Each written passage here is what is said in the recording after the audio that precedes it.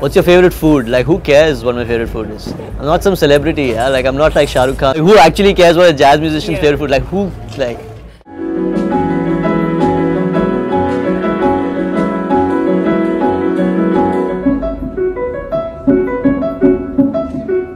Jazz in India has always been like there's been phases of up and down. You know, in Bombay in the 60s, 70s, even before, in the, almost in the 30s. Um, I think it's on its way up. Also, because a lot of musicians are studying abroad and moving back and starting their own thing and are, are deeply influenced by what's happening currently. Everybody in India, like the upper middle class, have the same kind of influences that anybody else has in the West because our access points are exactly the same. We watch the same internet channels, we watch the same YouTube channels. So, electronic music is obviously huge here. Um, I think people I can't. I don't know why it's bigger than other genres. I guess there's a certain amount of access that comes with dance music, which is you know global.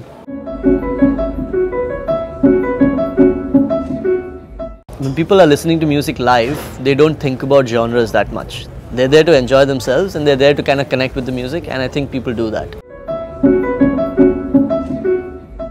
I guess so. This growing up across three continents is a little bit of a red herring. I grew up. I was born in the U.S. and lived there until I was two years old.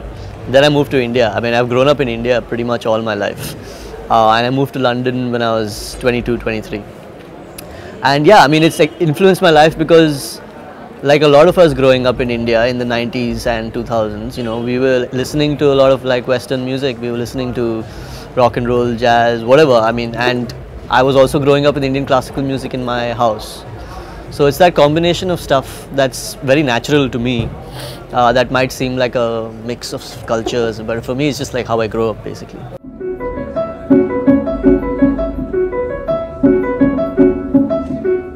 They're like normal freelance musicians at the end of the day. They're a performing troupe of musicians, very marginalized community of people, the Siddis. But they have, you know, they're hustling just like I am in a way, you know, they're, they're trying to make a living playing music. Of course, there's this whole spiritual side to what they do and sacred music.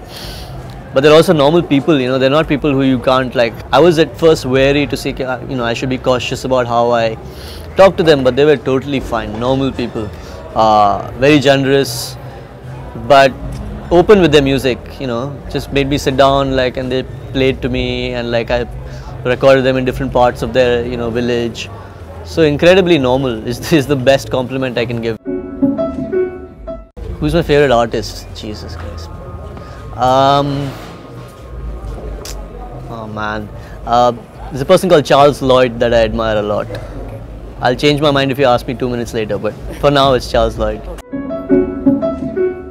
Uh, my the when I'm having a shower, it's best. Not the pot.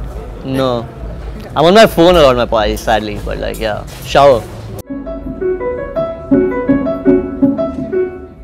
We did a couple of gigs with this person called Kamasi Washington, who's a jazz musician, and uh, like on tour with him. And some of those gigs were really memorable because his father came and played with us as well, and we were playing to like three, four thousand people, and we were playing our sort of music to. And it, as jazz musicians, you hardly ever get to play to three, four thousand people. You know, it's rare. Um, so that was incredible. But also, honestly, I'm not saying it, but like playing yesterday was fun. So I'm doing a new project, uh, a new album basically, with um, MCs and like spoken word like rappers from Dharavi. So kids who are rapping in Hindi, Marathi, English, but talking about stuff that they're going through. Were incredible.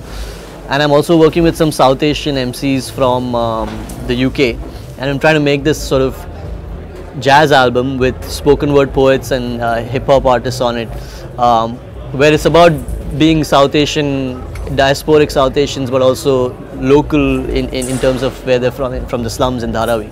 I think there would be an interesting dialogue between those two.